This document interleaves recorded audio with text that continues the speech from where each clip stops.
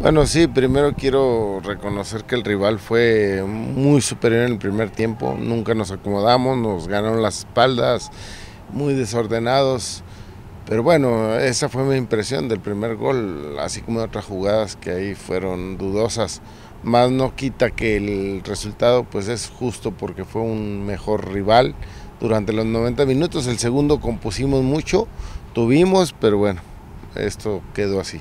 Sí, no es la primera vez que nos pasa en el torneo, casi siempre nos madrugan, se van arriba, eh, no entramos con la determinación y la intensidad que debe ser y eso nos mete en muchos problemas, ya después controlamos, corregimos. Eh, ah, nos ha alcanzado, pero hoy no fue así, pero te digo, yo tengo que ser justo y claro en mis ideas y pues sí, sí fue un rival muy difícil, el mejor, yo creo hasta ahorita y bueno, pues ahí está el 3-1. Bueno, es más de oficio de ataque, este Christopher, y esa fue nuestra intención. Yo sentí Alexis llega, pero no tiene, no termina las jugadas con tanta efectividad.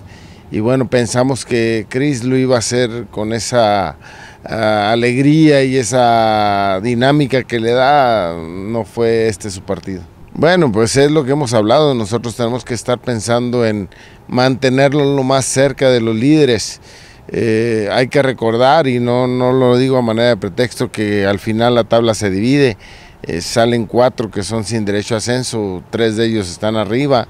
Y bueno, ya mantenernos ahí en esa, en esa grupo de líderes para ocupar los primeros puestos una vez que termine la, el rol regular y ser los primeros en, con derecho a ascenso.